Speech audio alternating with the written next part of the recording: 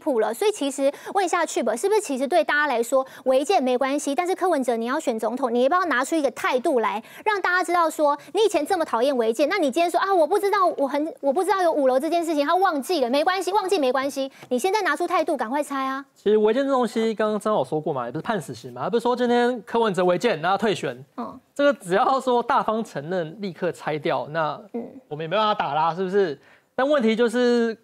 那个柯文哲他的高道的标准嘛，嗯，像是如果我是搞这个交通的，那我搞交通在这个荧幕上大放大放也是说这个，我们绝对不能违停啊，干嘛干嘛，结果我来录影，我把车停在红线上，嗯，那那相同的道理，柯文哲之前也是高道的标准，说那银翼餐厅什么断水断电，对，那现在还没有柯妈妈还没有，对，还没有断水断电呐，但是。这个打下去，这柯妈妈在这个荧幕电视前面一把眼泪一把鼻涕的，看起来是蛮可怜的。我的建议也是不要赶尽杀绝啦。那这个柯文哲看能不能好好处理一下。你这个一把，那这个柯妈妈又不是说有经过这个媒体公关训练的，她讲什么，她在问什么，她就会讲什么，也不会说什么找找发言人，也不会说媒体公关。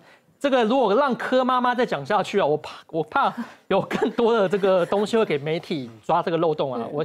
我在此呼吁这个柯文哲，跟他把这个柯妈妈这个 Uber Eat 啊，还有副班长把他叫好，就不要再外出，不要接受媒体访问了，要不然这个违建会越打越大啦。那这个违建其实打下去也很危险啊，这都是百年来的陈哥的痛嘛。这个违建谁家没违建？我家是没有啦。可是我说真的，我家防火巷之前也是被堵起来，那后来也拆掉了。那违建是没有拆，违建是有说每个县市政府编个五十万，那台中市编五百万，然后包排到民国几年，这个要拆很难的。然后。这违建因为说是历史工业嘛，有可能像是回 回力标。现在大家想要看的是柯文哲的态度啊！如果我是柯文哲，我今天回去跟我妈说：“妈，我们不要再讲了，赶快拆就好。”对，我就我就说好，柯妈就不要让他出门了，好不好？就不要出门，然后违建赶快连夜把它拆掉，就不会有事。就其他你说科妈要出来说：“哎呀，这个违建很久以前就有了。”一百，所以呢，通常遇到违建的 SOP 是什么？是有人举报之后，然后去现场看判定确定是违建之后，发一个公文要求当事人自行拆除。那什么时候会拆，根本就不知道。那以我自己所在的地方，吼苗栗县政府为例，我们现在有几件待排拆的案件，四千件以上，一年只能够拆，有些这人自己会拆，一年大概拆两三百件。也就是说，当你被列为是违建之后，你要等五十年、等六十年都轮不到你了。所以很多的地主，当你被通知之后，他其实就放着。但是呢？